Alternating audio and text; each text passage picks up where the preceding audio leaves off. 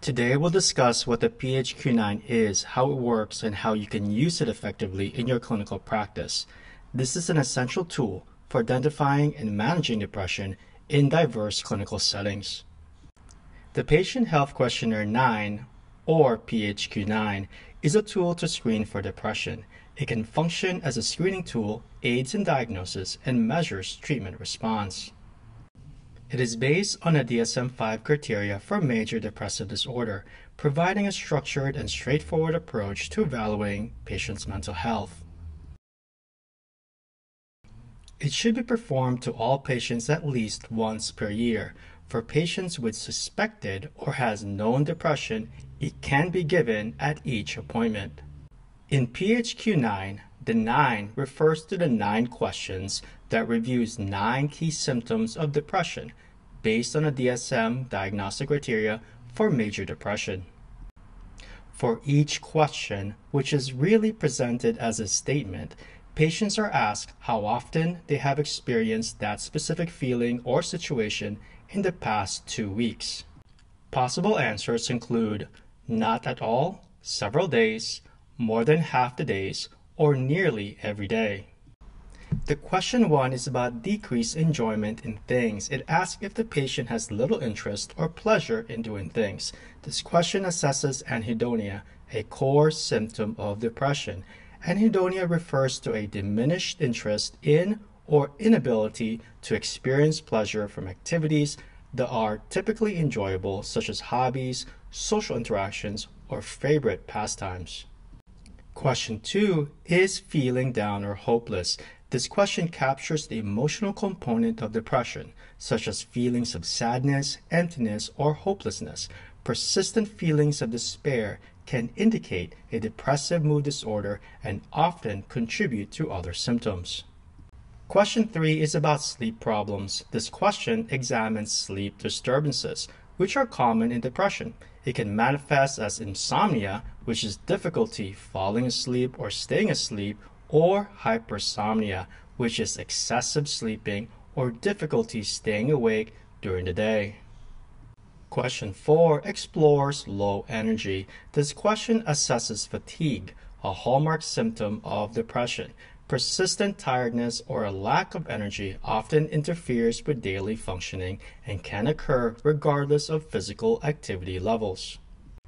Question 5 explores changes in appetite. This question evaluates appetite changes which can vary among patients with depression. Loss of appetite leads to unintentional weight loss. Increased appetite or emotional eating results in weight gain. Question 6 is feeling like a failure. This question addresses feelings of guilt and worthlessness, a common cognitive symptoms of depression. Patients may have exaggerated sense of failure, low self-esteem, or believe they are a burden to others. Question 7 involves problem concentrating. This question evaluates concentration and cognitive difficulties often referred to as brain fog. These issues can impair daily activities, work, or academic performance and may exacerbate feelings of frustration or inadequacy. Question 8 involves feeling restless or moving more slowly than usual. This question looks for psychomotor changes which can manifest either as psychomotor retardation or psychomotor agitation. Psychomotor retardation defined as slowed speech, movement, or thought process, compared to psychomotor agitation, which involves restlessness, fidgeting, or an inability to sit still. Both are physical manifestations of depression that others may notice. And question 9 is suicidal or self harm thoughts. This is the most critical question assessing suicidal ideation or self harm. A positive response indicates an urgent need for follow up to assess risk and ensure the patient's safety. It requires immediate intervention and may necessitate psychiatric evaluation or emergency care.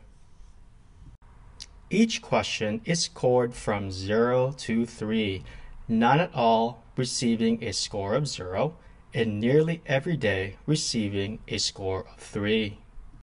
The PHQ-9 test also includes a 10th question, but is not part of the total score. It is answered if any of the previous nine questions reveal that depression may exist. This final question asks how hard is it for patients to work, take care of things at home, or get along with others. The question asks the degree to which the symptoms have interfered with daily life, ranging from not difficulty at all, somewhat difficult, very difficult, and extremely difficult. This question helps us to understand how well or how poorly the patient has been coping with the symptoms. The PHQ-9 score ranged from minimal to severe. A score of 0 to 4 indicates no or minimal depression. A score of 5 to 9 suggests mild depression. A score of 10 to 14 suggests moderate depression, whereas a score of 15 to 19 indicates moderately severe depression. And a score of more than 20 indicates severe depression. The highest score is 27. If question 9, the one that addresses self-harm suicide, if it's a positive answer, providers are expected to explore this issue further.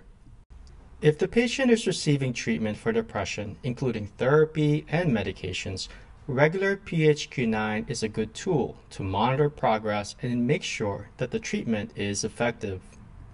When screening is positive for possible depression, the diagnosis should be confirmed using the DSM-5 criteria. In conclusion, the PHQ-9 questionnaire is a valuable, evidence-based tool for depression screening that is simple to administer, highly effective in identifying depressive symptoms, and guiding treatment decisions. Thank you.